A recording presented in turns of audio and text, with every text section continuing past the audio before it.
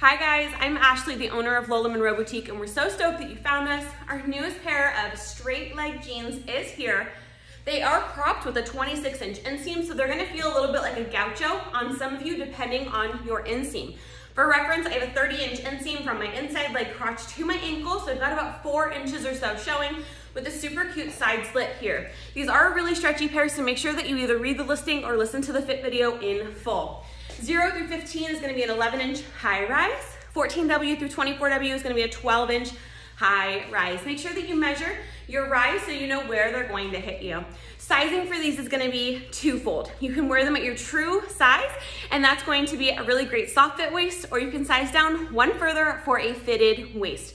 So what that means is 14W through 24W, if you know you're sizing at Torrid or Lane Bryant, you're gonna stay true to size for a soft fit waist, size down one for fitted.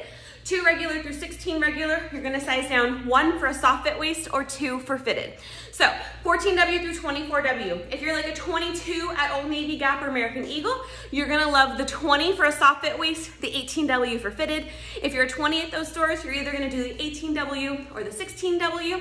And if you're an 18 at those stores, you're either gonna do a 16W or a 14W. If you're more of a true plus size 16, like a 16, 18, a true plus size 16 is gonna be a little bit wider in the hips. You're either gonna do the 14W or the 15 regular for fitted. The 15 regular though is going to lose one more inch in the rise. So only do that if you're okay with the tummy weight um, and where you carry your weight right here.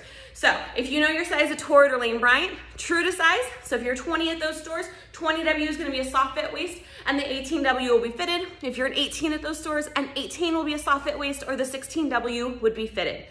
Two regular through 16 regular. I'm a pretty true size 16 regular right now. I have more narrow hips. I carry my weight in my tummy. I had a baby about seven weeks ago. 16 regular, you can wear the 15 for a soft fit waist, or you can size down one more. I'm in the 13 for reference. So it's a really great snug waist. It's a high cotton content, which is really soft. It's just super yummy. No matter what, you're still going to have room here at the legs unless you have very large calves for your frame. These are super cute on apple and pear shapes as well because it's going to hide the fact that your legs are smaller than your waist because it is an intentional straight leg look.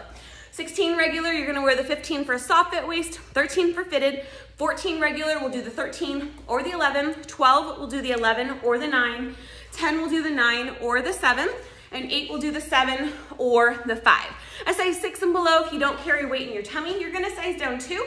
So six will wear the five, uh, skip the five and wear the three. Four will skip the three, wear the one, and a two will do the zero.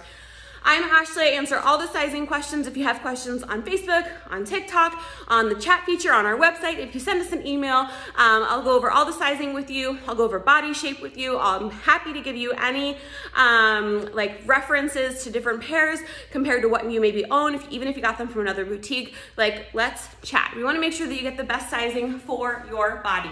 We ship every single day from California. We have on any given day the second or the third largest inventory of Judy Blues and we love them, but we only carry my absolute favorite pairs.